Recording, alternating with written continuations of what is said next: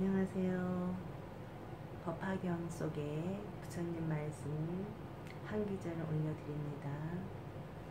성안내는 그 얼굴이 참 따운 공양고요. 부드러운 말 한마디 미묘한 향이로다. 깨끗해 티가 없는 진실한 그 마음 언제나 한결같은 부처님 마음일세 성불하세요. 이제 제가 지금 개송한 것을 써보겠습니다. 써서 올릴게요.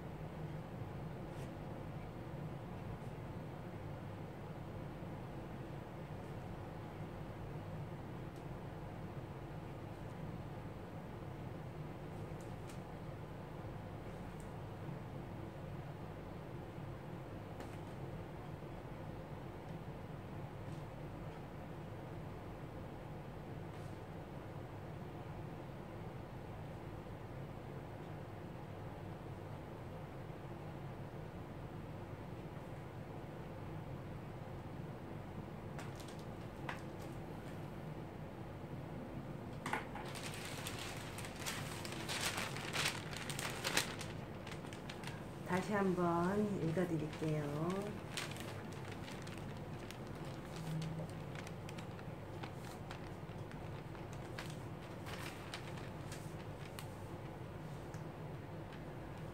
성 안내는 그 얼굴이 참다운 공양고요. 부드러운 말 한마디 미묘한 향이로다. 깨끗해 티가 없는 진실한 그 마음이 언제나 한결같은 부처님 마음일세. 우리 모든 불자들 항상 이 마음으로 모두 다 행복하고 즐거운 나날이 될 수 있도록 행운 축수 발언합니다. 성불하세요.